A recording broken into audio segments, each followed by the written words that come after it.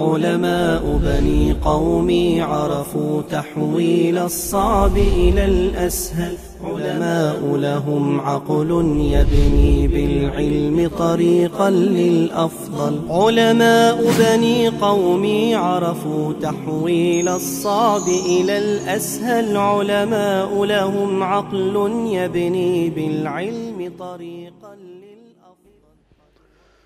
بسم الله الرحمن الرحيم. الحمد لله رب العالمين صلى الله وسلم على نبينا محمد وعلى آله وصحبه أجمعين. قال الشيخ أحمد الدردير رحمه الله تعالى في الشرح الكبير على المختصر. بسم الله قال المصنف رحمه الله ولا زكاة في عين فقط ورثت وأقامت أعواما إن لم يعلم بها أو بمعنى الواو أي ولم توقف أي لم يوقفها حاكم للوارث عند أمين إلا بعد حول يمضي بعد قسمها بين الورثة إن تعددوا أو بعد قبضها ولو بوكيله. المال الموروث إذا كان حال الحول على المال والمورث حي فالزكاة تجب على المورث مثل إذا كان مات المالك بعد مجيء الساعي فالزكاة وجبت على في المال قبل قسمته على ذمة المورث والورثة يقسموا ويستقبلوا حول جديد. وكذلك إذا حال الحول على المال الآخر غير الماشية ولا ثمار ولا جنية ولا كذا والمورث حي فتزكى على ذمته والوارث يستقبل حول جديد إذا كان حصل نصاب في حصته. وإذا كان المورث مات قبل الحول فالزكاة لا تجب عليه. و ثم الميراث يجب أن يتحول إلى الورثة. فإذا كان التركة قسمت يعني بينهم وإلا هي حتى في حوزتهم وهم يعني امتنعوا عن قسمتها. فمجرد ما تكون التركة في حوزتهم تجب الزكاة يبدأ الحول عليهم من ذلك الوقت. لكن إذا كانت هي عليها خصوم أو موضوعة تحت أمين ولا في محكمة ولا لم يصلوا إليها فلا تجب عليهم الزكاة حتى لو بقيت سنين طويلة. بقيت عامين ولا ثلاثة فيها خصومات وما فيش واحد منهم يستطيع أن يصل إليها وهي تحت أمين ولا في محكمة ولا في كذا لا زكاة عليهم فيها.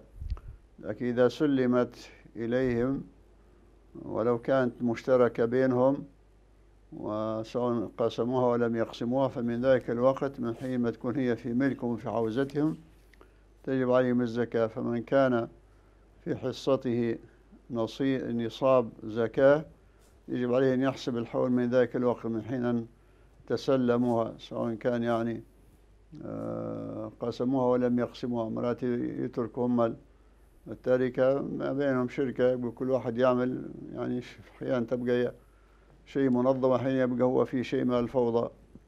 لأن عندما آه، تتحول التركة إلى الورثة يجب أن تكون يعني محصورة ومحصية.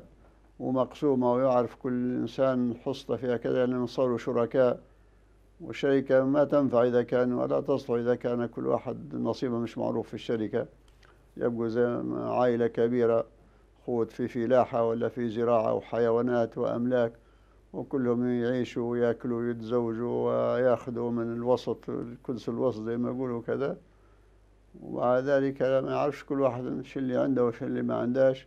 وتجب عليه زكاة ولا ما تجبش عليه الزكاة وأحيانا تنتهي المسألة يعني ب يعني عدم تفاهم وخصومات ويتهم بعضهم بعض وواحد يبقى يصرف كثير وبعضهم يصرف كثير وبعضهم يصرف على زوجته يشيل هذا وبعضهم تبقى محرومة والخير.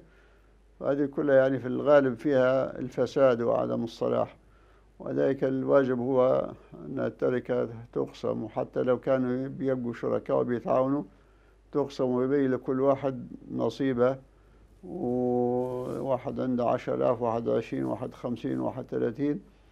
وكل ما يخرج من هذه الشركة يكون مسجل ليصرف شيء ليشريه لزوجته ولأهله يكون مسجل ومقيد عليه وفي رأس الحول يعني يعملوا تصفية للفلاحة ولا للتجارة كذا وإذا كان فيه ربح كل واحد يخصم من الربح ما صرفه.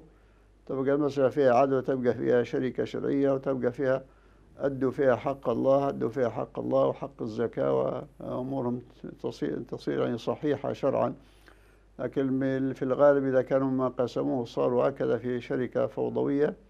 غالب تنتهي بسوء الحال وتضيع ضيع فيها حقوق الناس وحقوق الله سبحانه وتعالى. لكن المهم هو أن الزكاة تجب فيها بمجرد ما يستلم التركة حتى لو كانت مشتركة فالزكاة وجبت عليهم في حصة من كان عنده نصاب في هذه الشركة. نعم. قال فإن علم بها أو فإن علم بها أو وقفت زكيت لماضي الأعوام من يوم الوقف أو العلم. وهذا التفصيل ضعيف والمعتمد أن العين الموروثة فائدة يستقبل بها حولا أو يستقبل بها حولا بعد قبضها.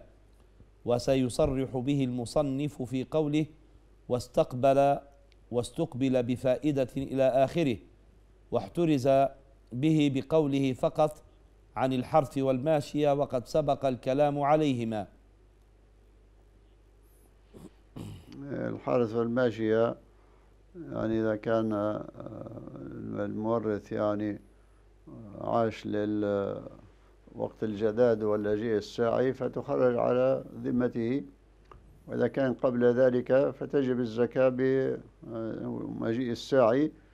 فمن آه، صح له في نصابه في حصته نصاب يجب عليه أن يزكي بمجيء الساعي.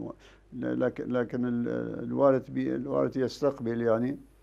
الوارث بمجرد كان آه، مات الميت قبل مجيء الساعي بمدة طويلة شهور يعني ستة سبعة ثمانية شهور. فيزكيها الوارث يعني تجب عليه الزكاة لأنه ليس شرطا مرور الحول على الماشي ليس شرطا.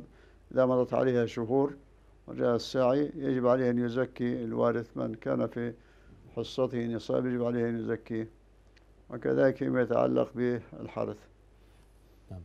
قال ولا زكاة في عين موصى بتفرقتها على معينين أو غيرهم ومر عليها بيد الوصي حول قبل التفرقة. ومات الموصي قبل الحول لأنها خرجت عن ملكه بموته فإن فرقت بعد الحول وهو حي زكاها على ملكه إن كانت نصابا ولو مع ما بيده فإن فرقت إيه؟ فإن فر آه، فإن فرقت بعد الحول وهو حي زكاها على ملكه إن كانت نصابا ولو مع ما بيده يعني الموصى إذا كان مال موصى بتفرقته على الفقراء هذا لا زكاة فيه. كان المالك حي يجب عليه أن يزكيه حال عليه الحول والمال الموجود. عند الموصى يجب عليه أن يزكيه وإذا كان هو نصاب وحتى بضميمته إلى مال آخر. ولكن إذا كان المالك أو الموصي مات وأوصى بتفرقته على المساكين ما دام هو لم يفرق وقعد بيد الموصى فلا زكاة عليه لأنه مال لا مالك له.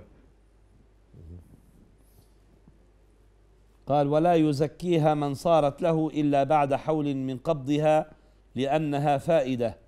وأما الماشية إذا أوصي بها أو إذا أوصى بها ومات قبل الحول فلا زكاة فيها إن كانت لغير معينين.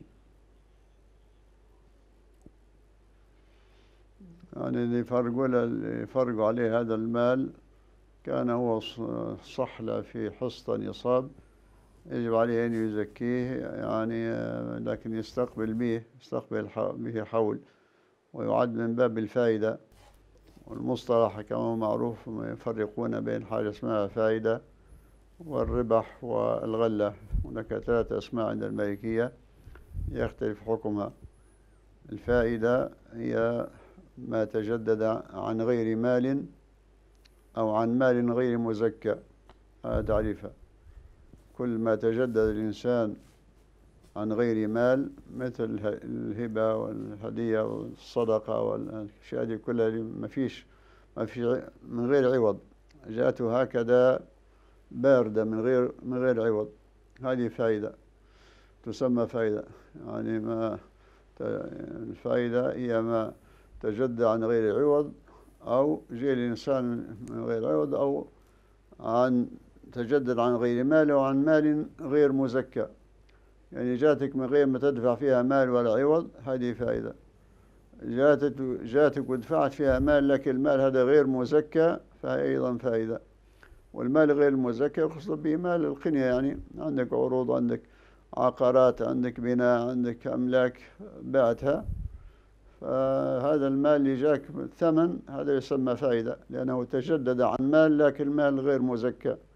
يعني المزرعة واللي بعتها ولا كذا ما هيش مال ما هيش مال مزكى. أي شيء للقنية مقتنع يسمى مال غير مزكى. فإذا أنت عوضت به وأخذت به نقد فهذا يسمى فائدة. فالفائدة هي ما تجدد إما عن غير مال أو عن مال غير مزكى فهذا من أوصى بمال يفرق بين المساكين فاللي وص- وصلت له حاجة تسمى هذه فائدة. والفائدة حكمها أن صاحبها يستقبل بها ما يضمهاش حتى للنصاب. حتى لو كان عنده نصاب لا يضمها إليه لأن عنده أشياء تضم للنصاب وأشياء لا تضم.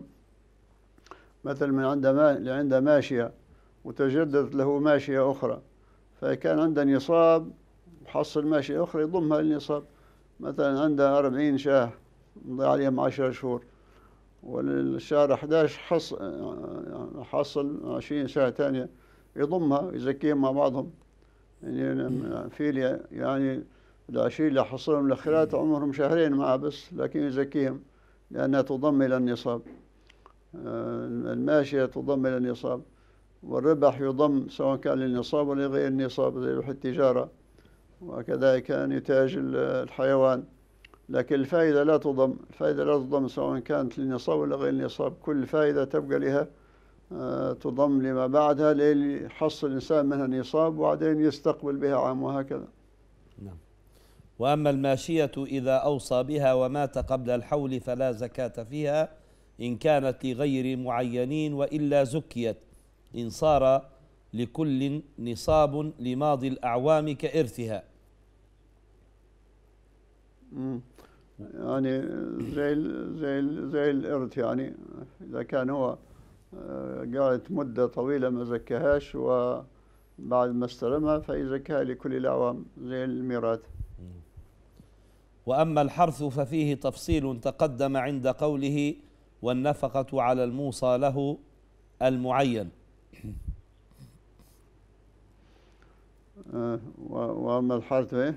ففيه تفصيل تقدم عند قوله والنفقة على الموصى له المعين. هي تف- تقدمت النفقة لما يوصي بحرث يعني على من نفقة ال- السقي والرعاية وكذا والزرع إذا كان هو وصى بها لمعين فالنفقة عليه وإذا كان لغير معين فالنفقة على صاحب المال يعني. قال ولا في مال رقيق وإن بشائبة كمكاتب لعدم تمام ملكه فإن انتزعه منه سيده استقبل به. أيضا لا زكاة عليه لأن غير مالك الرقيق لا يستطيع أن يتصرف في ملكه إلا بإذن سيده وذلك الملك له غير تام. هو مالك يسمى مالك الرقيق لكن ملكه غير تام ولذلك يا- ما, ما لا زكاة عليه وإذا انتزع منه سي- سيده فإنه يستقبل به عام. ولا في مال مدين إن كان المال عينا كان الدين عينا أو عرضا حالا أو مؤجلا ولا ولا, ولا في مال مدين. ولا في ولا مال في مال مدين. إن كان المال عينا كان المدي كان الدين عينا أو عرضا حالا أو مؤجلا. أو عرضا. أو عرضا حالا أو مؤجلا. حالا أو مؤجلا. حالا أو مؤجلا نعم. ولي. ولي عند. ال- ال- المدين اللي يبقى دوا عليه دين سواء كان دين عين ولا دين عرض ولا غيره ما دام سواء كان مؤجل ولا غير مؤجل. إذا كان ما عندهاش ما يكافي هذا الدين من أملاك أخرى فلا زكاة عليه. فمثلا واحد آه، استلف مئة ألف ولا اشتري بذمته بمعارفه وكذا شيء بمئة ألف تجارة وصار يبيع ويشري. ولما قوم التجارة وجد هي مئة ألف ولا أقل وما عندهاش أملاك أخرى ما عندهاش العقارات وكذا فلا تجب عليه الزكاة مع أنه هو عنده تجارة بقدر مئة ألف. لكن لأنه مستغرق ذمته لأن عليه دين بمقدار مئة ألف. سواء كان سواء كان هذا الدين حالا ولا مؤجلا؟ ما دام هو عنده عليه دين وعن- وعنده مال والمال اللي عنده لا يزيد على الدين فلا زكاة عليه. وإذا زاد المال اللي عنده على الدين سواء كان من مال التجارة ولا من عقارات وأملاك أخرى فيسقط مقدار الدين وما بقي له بعد ذلك آه، تجب عليه فيه الزكاة. وذلك ورد في السنة من له ألف وعليه ألف فلا زكاة عليه. شيخ في قوله إن كان المال عينا آه، آه، يعني لو كان الدين نعم لا تمام إن شاء الله. قال ولا زكاة في قيمة سكة وصياغة وجودة كما لو كان عنده خمسة عشر دينارا ولسكتها أو صياغتها أو جودتها تساوي النصاب فلا زكاة عليه. يعني في تقدير النصاب لابد باش تجب عليه الزكاة ولا تجب عليه لابد ما يكون عنده صافي وخالص عشرين دينار ولا 200 درهم فضة. حتى ولو كانت قيمتها كان عنده 15 دينار بس عنده جواهر وعنده أشياء فيها من الذهب 15 دينار ولكن لما فيها من حسن الصنعة والصياغة ولا الخلط بغيرها تساوي ما قيمتها 30 دينار فلا زكاة فيها. القيمة لا تحسب في تقدير النصاب اللي يحسب في تقدير النصاب هو وزن العشرين دينار. قال وكذا لو كان عنده نصاب لما ذكر يساوي أكثر فلا زكاة على الزائد.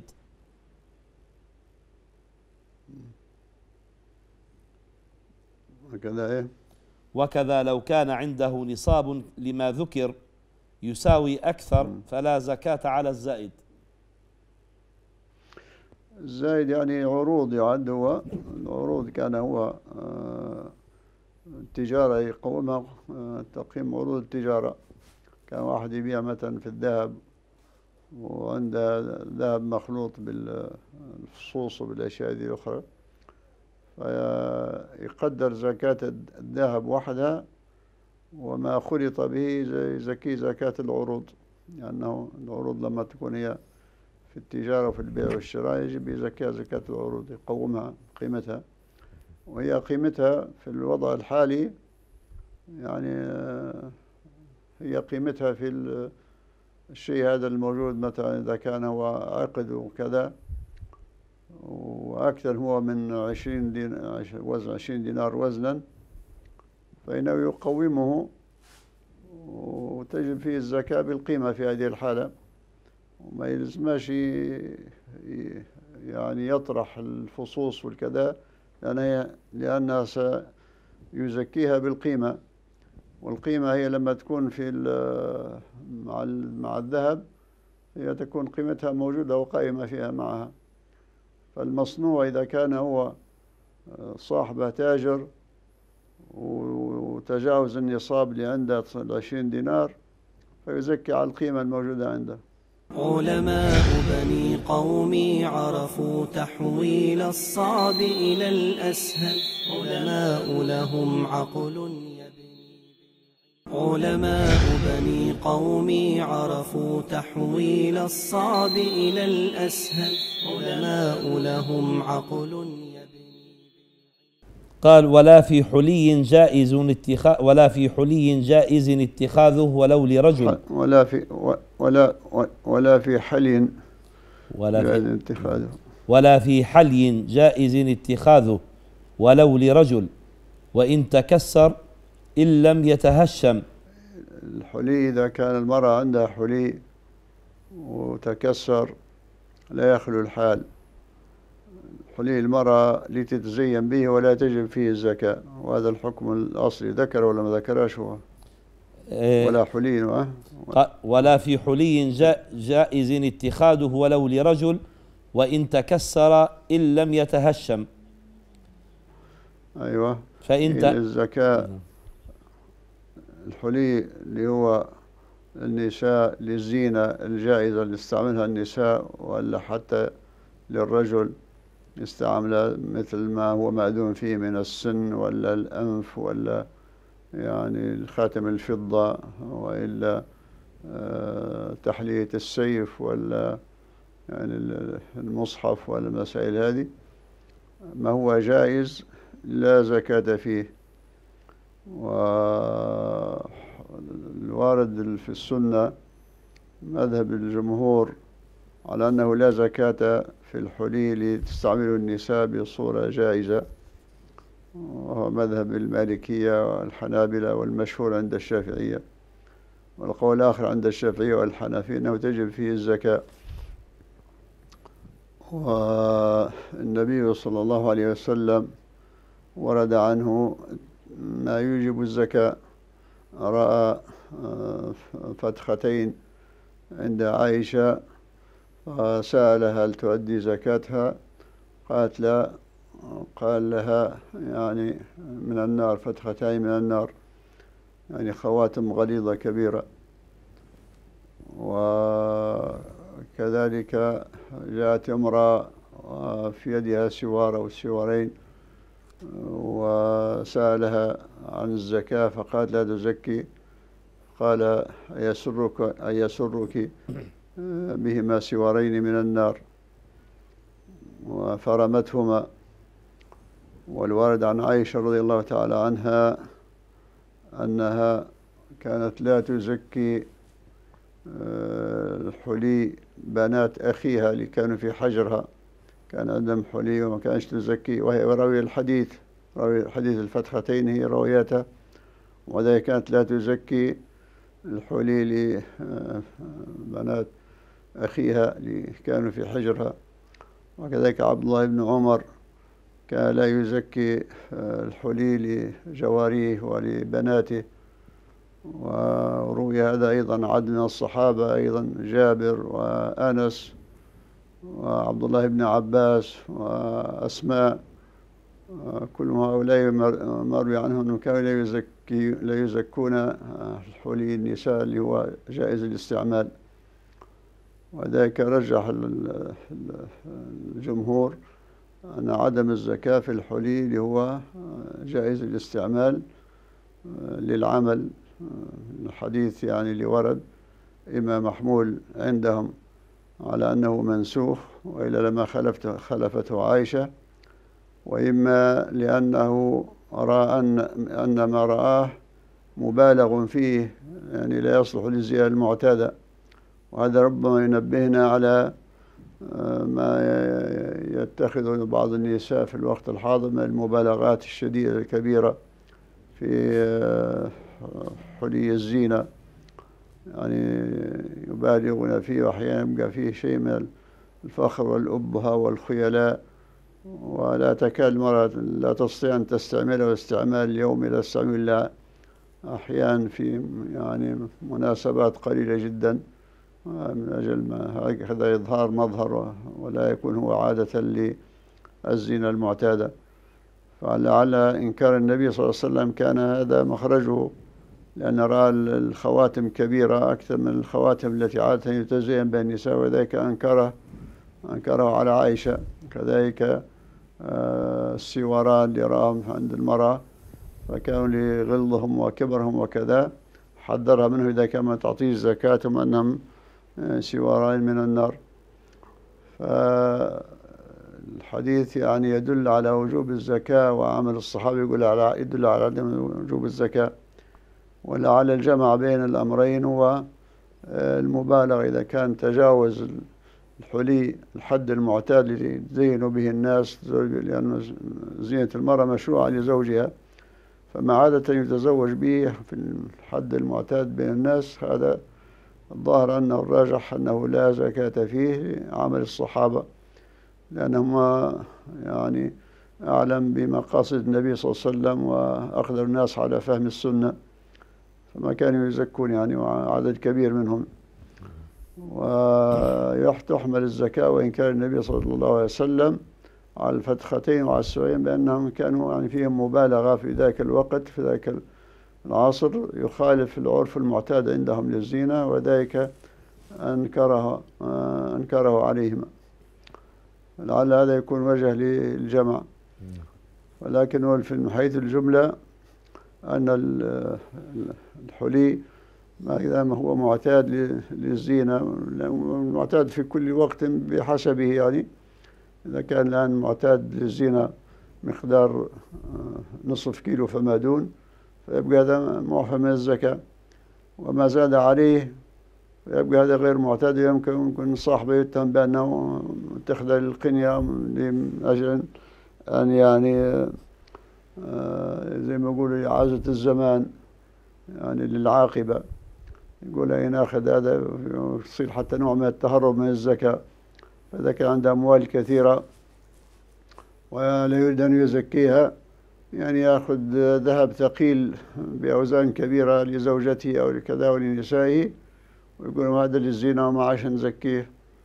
هذا يكون يعني باب للهروب والخروج من الزكاة ربما هذا هو موضع النهي والتحذير في حديث الفتختين فإذا كان لعل الجمع اللي يمكن يكون يعني أقرب إلى الصواب. وهذا ما كان ما كانت الزينة معتادة في ذلك الوقت وفي ذلك العصر بحسب أعراف الناس. كان افترضنا أن مثلا ما تتزين به المرأة عادة في معظم أوقاتها هو لا يتجاوز النصف كيلو مثلا فيبقى نصف كيلو هذا معفو عنا وما زاد عليه ما يعد للعاقبة أو ربما حتى يكون لخروج الهروب من الزكاة. يعني حزام من الذهب وخناق يوزن كيلو ومش عارف إيه كذا ودبالج وأخلاخل وكذا. فهذه إذا كان المرأة اشترتها وبتسميها أنها للزينة فالظاهر أنها تخرج عن الزينة المعتادة وتجب عليها تجب عليها الزكاة فيها. فإذا الزكاة اللي معفو عنها هي في الزينة المعتادة هكذا بحيث يمكن الجمع بين النصوص الواردة في السنة ما ورد عن النبي صلى الله عليه وسلم وورد عن أصحابه. قال ثم بعد قال إذا تهشم فرض إذا تكسر هذا الحلي اللي هو للزينة هل تجب فيه الزكاة ولا تجب؟ قال إذا كان هو تهشم الدقدق يعني وما عاش يمكن إصلاحه. فهذا لا تجب فيه الزكاة لأن هذا يصير بعد ذلك مصير إلى السبك وإلى الصناعة. يعني تجب فيه الزكاة هذا تجب فيه الزكاة لأنه هذا بيصير مصير إلى الصناعة وكأنه سبيكة كان المرأة تملك سبيكة. والمرأة إذا والمرأة إذا ملكت سبيكة فيجب عليها أن تزكيها هذا إذا كان هو تهشم. ولكن إذا كان هو تكسر فإذا كان هي يعني آه، نوت عدم إصلاحه فتجب فيه الزكاة. ما تبي تبي تصلحه لأن ما عادش عندها في باله وما عادش تبيه وكذا فهذا يعد في حكم المتهشم لا تجب فيه الزكاة. يعني تجب فيه الزكاة. هذا إذا نوت عدم إصلاحه هو مكسور كسر ولكن نوت عدم إصلاحه. فهذا تجب فيه الزكاة لأنه في حكم المتهشم لكن إذا كان نوت إصلاحه أو لم تنوي شيء وهو مكسور الكسر ومن الحلي المعتاد للمرأة فهذا لا زكاة فيه. الحلي المرأة سواء كان مكسور ولا صالح لا زكاة فيه. ما دام هي ما نوتش عدم إصلاحها. أما إذا نوت عدم إصلاحها فتجب فيه الزكاة. نعم.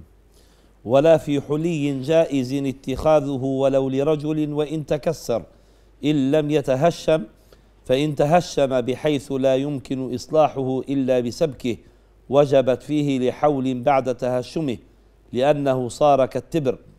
وسواء نوى إصلاحه أم لا والحال أنه لم ينوي عدم إصلاحه أي المتكسر بأن نوى إصلاحه أو لا نية له. والمعتمد الزكاة في الثانية فلو قال ونوى إصلاحه لوافق المذهب. الخلاصة زي ما قلنا نعم. المتهشم هذا تجب فيه الزكاة لأنه أصبح كالتبر وكالسبيكة. والمتكسر إذا نوى عدم إصلاحه تجب فيه الزكاة لأنه في حكم المتهشم. وإذا لم ينوي عدم إصلاحه فلا زكاة فيه سواء كان نوى إصلاحه أو لم ينوي شيئا. نعم. فلا زكاة فيه.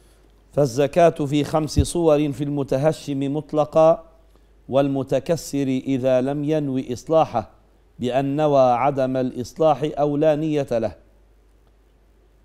قال أو كان الحلي الجائز لرجل اتخذه لنفسه كخاتم كخاتم وأنف وأسنان وحلية مصحف وسيف أو اتخذه لمن يجوز له استعماله كزوجته وابنته وأمته. الموجودات عنده حالا وصلح وصلحنا أو صلحنا للتزي للتزين لكبرهن.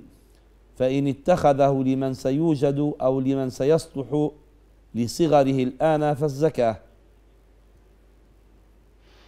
يعني اللي يشري ذهب ويقول هذا من خليل بنتي لما تتزوج ولا آه، بيشريه هو لنفسه ويقول هذا من جمعة لما نتزوج نبي مهر هذا يقول تجب فيه الزكاة لأن اللي معفى من الزكاة هو ما يشتريه للمرأة اللي بتتزين به في الحال في الوقت هو يشتريه وهي صالحة لاستعماله. ما إذا كان هي غير صالحة لاستعماله حتى ولو كانت كبيرة لكن تريد أن تخزنه وتدخره إلى أن تتزوج فيجب عليه فيجب فيه الزكاة. الزكاة لا تسقط ولا تعفى منها إلا بالاستعمال إذا كان هي صالحة للاستعمال واستعملته بالفعل. أو متخذا لأجل كراء ولو لرجل فيما يجوز استعماله للنساء كالأساور على الأرجح خلافا لتشهير الباجي أو إعارة فلا زكاة. إذا كان الذهب يعني واحد عنده زكاة عنده ذهب وعاملة للإيجار يأجر فيه ولا يعير فيه للناس. فكان هو يجوز لها يعني هو جائز بالنسبة إليه. حتى ولو كان الملك له رجل لكن هو أعطي لي زوجته وزوجته هي اللي تأجر فيه. يعني ملكه لها هو أعطيه لها وهي تأجر فيه ولا تعير فيه. فهذا ما دام جائز استعماله فيجوز كراؤه وإعارته ولا تجب فيه الزكاة. لكن إذا كان هو آه، ذهب لرجل لا يجوز له استعماله يريد أن يكريه فتجب فيه الزكاة. قال إلا محرما كالأواني والمباخر ومكح ومكحلة ومرود ولو لامرأة أو معدا لعاقبة ففيه الزكاة ولو لامرأة أعدته بعد كبرها لعاقبتها. يعني ال- العفو من الزكاة والإعفاء من الزكاة هو مربوط بالإذن. ما دام الذهب آه، صاحبه يجوز له استعماله. ذهب مرة يجوز له استعمالها وذهب رجل يجوز له استعماله كحلية السيف ولا الأنف ولا غيره. وما كان يملكه وأعده للإعارة ولا غيره وحتى للإيجار فلا زكاة له ما دام هو جائز له تملكه واستعماله. ولكن إذا كان هو آه، تملكه غير جائز مثل الأواني والصحون والملاعق والتحف والمسائل هذه وحتى الم- المكحلة للمرأة ولا أي شيء تختنيه فهذا حرام تملكه لأن لا يجوز استعمال أواني الذهب والفضة ولا الأكل فيهم ولا وضعهم تحف ولا شيء من هذا. هذا كله حرام لا يجوز. وإذا إنسان اتخذ شيء من ذلك فيجب عليه أن يزكيه. وكذلك لو كان يعني الذهب لمرأة لما كبر سنها ونوت عدم استعماله وتريد أن تتركه لعاقبة الزمان فإذا يتحول وتجب فيه الزكاة لأنه خرج عن الغرض الأصلي له وهو الزينة علماء بني قومي عرفوا تحويل الصعب إلى الأسهل. علماء لهم عقل علماء بني قومي عرفوا تحويل الصعب إلى الأسهل. علماء لهم عقل يبني قال أو صداق لمن يريد نكاحها أو كان منويا به التجارة أو البيع وسواء كان لرجل أو امرأة فالزكاة هذا إن لم يرصع أي يركب شيء بل وإن رصع بجوهر كياقوت ولؤلؤ. لكل تجري فيه الزكاة إذا كان هو يعني عدها لصداق ولا عد لشاخر للعاقبة ولا غير ذلك. فتجري فيه الزكاة وكان لتجارة آه، وهذا إذا كان خاليا من الأشياء الأخرى المركبة معه. قال ولو كان مركب بأشياء أخرى تجري فيه الزكاة. كما لؤلؤ وغيره. وقلنا هذه يعني تزكى زكاة العروض وإذا كان هو تاجر يبقى يقومها كلها مع بعضها ويزكيها. وزكى الزنة أي وزن ما فيه من عين إن نزع الجوهر أي أمكن نزعه بلا ضرر أي فساد أو غرم ويزكى الجوهر زكاة العروض وإلا بأن لم يكن يمكن نزعه أو أمكن أو أمكن بضرر تحرى ما فيه من العين وزكاه. يعني هو إذا كان تفكيكه يعني هو مآله إلى التفكيك لأنه غير مرغوب فيه وغير مقبول هذا يفككه ويزكي الذهب والأشياء المركبة معه لها قيمتها, قيمتها أخرى يزكيها. ولكن إذا كان هو ما زال مرغوب فيه بوضعه وتفكيكه ربما يفسده ولا يسبب له ضرر وينقص قيمته يتحرم ما فيه من الذهب أو يوزن كما يوزن الآن توزن آه، العقود اللي هي مرصعة بالجواهر والأشياء توزن كلها يبقى لها سعرها سعر الذهب لأنه يعد هو جزء من التحلية وربما يرغب فيه أكثر من أحيانا من مما هو من الذهب الخالص. المسألة تتبع عين القيمة ويعني الحالة اللي عليها هذا الشيء المرصح يعني يوزن توزن الجواهر اللي معاه مع الذهب ولا تفكك وتبقى لأنها قيمتها أكبر وأحسن والناس يرغبون فيها كذلك. وأحسن وأحيانا يبقى لا يرغبون فيها وتحتاج إلى أن تكسر ويحتاج أن يقوم كل شيء بقيمته الخاصة به. نعم. قال ثم شرع في الكلام على نماء العين وهو ثلاثة أنواع ربح وغلة وفائدة. وبدأ الأول فقال وضم الربح وهو كما قال ابن عرفة زائد ثمن مبيع تجر على ثمنه الأول ذهبا أو فضة والقيود لبيان الواقع لا مفهوم لها إلا تجر أو نعم تجر إيش؟ إلا آه، تجر نعم وهو كما قال تجر تجر تجر تجر زائد بثمن المبيع تجر آه، على آه، ثمن ثمن الأصل ذهبا أو فضة يعني. نعم. زائد ثمن مبيع يعني السلعة المباعة. الثمن اللي زايد على ثمن شرائها ويكون إذا كان ذهبا وفضة فهذا هو تعريف الربح.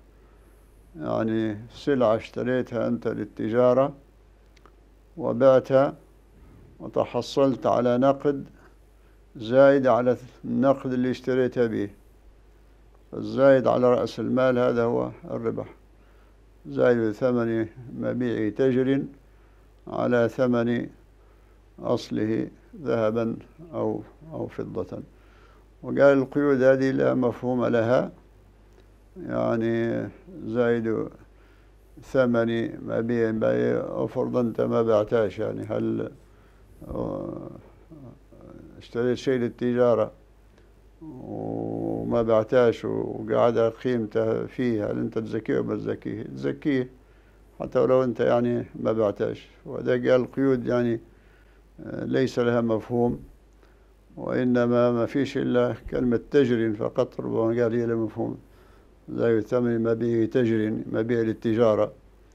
معناه إذا كان هو المبيع مش للتجارة فتستقبل به ما يسمى شربحة هناك يسمى بعد ذلك فائدة فهو يريد أن يذكر التعريف بقيوده وهل هذه القيود لها مفهوم وليس لها مفهوم.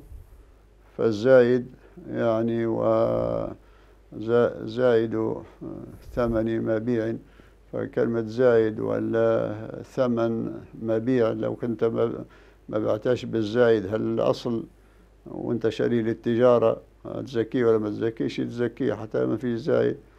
ومبيع وفرض أنت ما بعتاش تزكيه ولا ما تزكيش؟ بتزكيه. فهذه قيود لا مفهوم لها. وإلا قوله تجر فهذه لها مفهوم. إذا كان لم يكن للتجارة المبيع ما هوش للتجارة مبيع للقنية.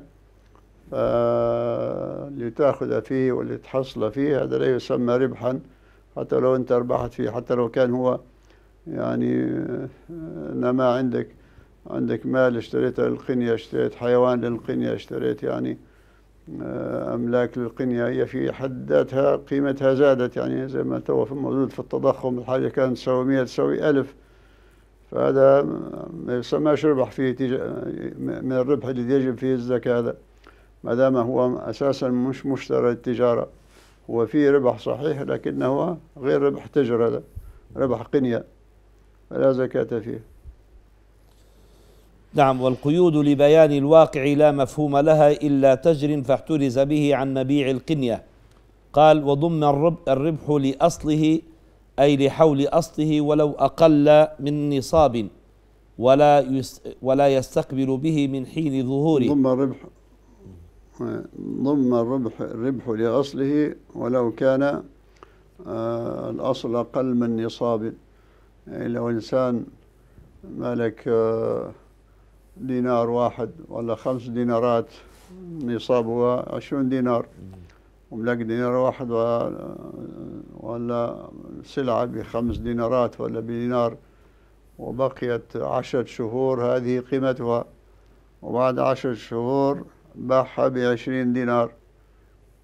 فتجب عليه الزكاة من أول ما ملك الدينار من أول ما شري السلعة اللي بدينار واحد. يعني حول العشرين دينار اللي شراهم في آخر شهرين هم حول أصلهم يباع لأن يعني الربح يضم لأصله حول الربح حول أصله. عندنا أشياء يمكن ثلاثة أشياء وأربعة حولها حول أصلها. للربح ربح التجارة. إذا أنت شريت سلعة يعني بأقل مثلا بمئة دينار بس وفي شهر محرم. وبعد تالي قبل محرم القادم قبل بشهر أصبحت خمسين ألف السلعة أصبح ثمنها خمسين ألف. فاللي زاد من مئة دينار إلى خمسين ألف هذا كله, كله يسمى ربح. لكن هذا الربح ما تحصلتش عليه أنت من محرم في اللي تحصلت عليه في رمضان وفي في شعبان وفي ذي القعدة وفي آخر شهر في, في السنة آخر شهر في العام. فكله حوله حول المحرم اللي هو أنت اشتريت به السلعة اللي هي 100 دينار. فالربح يضم لأصله في التجارة وكذلك إنتاج الحيوان يضم لأصله حتى ولو كان غير نصاب كان عنده عشر شياه. وفي أول الحول وبعدين والله عشرين وبعدين بالنسل والتوالد في رأس الحول ولو أربعين فحول النسل حول أصلي. وكذلك يعني يضم يضم الحيوان للنصاب. إذا كان إنسان عنده حيوان أربعين شاه وبعدين قبل رأس الحول اشترى يعني مئة شاه أخرى. حول الأربعين الأولين. وبدل ما كان يزكي شاة واحدة يبقى يزكي شاتين. يعني في أشياء تضم للأول وهناك أشياء اللي تسمى الفائدة. الفائدة كلها يستقبل بها الربح يضم والفائدة يستقبل بها. الفائدة ما تجدد عن غير مال أو عن مال غير مزكى. والربح ما تجدد عن مال تجارة يعني المكسب اللي تربح فيه مال تجارت به ما زاد عليه من المكسب حوله حول أصله. فمن عنده دينار أول المحرم فتاجر فيه فصار بربحه عشرين فحولها المحرم. فإن تم النصاب بالربح بعد الحول زكى حينئذ. إيه إذا كان تم بعد الحول يعني. حتى يزكيه بعد الحول يبقى حول وين تم فيه النصاب. يعني كان قاعد 12 شهر وأقل من النصاب تجارته كلها أقل من النصاب. وبعد 12 شهر تحصل على النصاب بالربح. فيبقى يجب عليه يزكيه. ما عادش يستنى للربح هذاك حول جديد يزكيه لأن فات عليه الحول. ويبقى حولا من ذلك الوقت من يوم أن زكى نعم.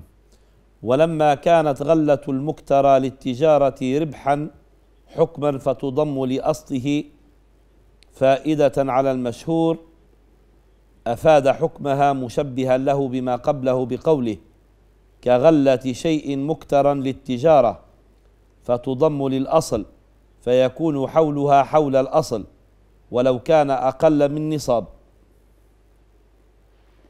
يعني هذه أيضا مثل الربح الأشياء اللي تضم. إحنا ذكرنا آه، نتاج الحيوان وربح التجارة واللي يملك آه، يعني يصاب من الماشي ويشتري غيرها. تضم لهم هذه المسألة أخرى المكترى للتجارة. عندنا آه، المكترى أنواع. مكترى للتجارة ومشترى للتجارة. ومكترى للقنية. ثلاثة أشياء متشابهة. اللي تضم للأصل هو هو المكترى للتجارة. بخلاف ما كان اشتراه للقنية. كان مشترى للقنية وأراد أن يكريه فهذا ما يضمش فيه الكراء لأصل المال. إذا كان الإنسان عنده مبلغ واشترى به عمارة ولا اشترى به يعني بيت وكذا ليتملكه للقنية لا للتجارة. وثم بعد ذلك صار يكريه ويؤجره. فما يتحصل عليه من الكراء والإيجار حوله ليس حول أصل المال الذي اشترى به وإنما حكم حكم الفائدة. كل ما يجتمع منه نصاب من الكراء هذا يعمل له حول. ويستقبل به لما يحول عليه الحول يزكيه وهكذا. لكن ما يضمش الأخير للأول زي المكترى للتجارة.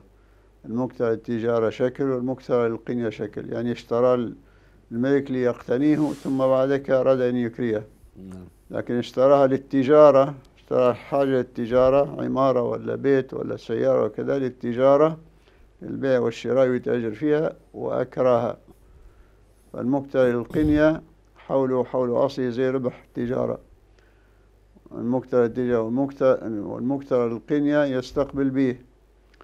وكذلك ال- المشترى للتجارة أيضا يستقبل به. إذا اشتريت شيء لتتاجر فيه من حين ما اشتريته تستقبل به عام. فمن عنده خمسة دنانير أو نصاب زكاة في المحرم ثم اكترى به دارا مثلا للتجارة للتجارة في رجب فأكراها في رمضان بأربعين دينارا فالحول المحرم. واحترز بمكترى التجارة عن غلة عن غلة مشتري مشترى للتجارة أو مكترى للقنية فأكراه لأمر حدث فإنه. نعم. فإنه يستقبل به حولا بعد قبضها.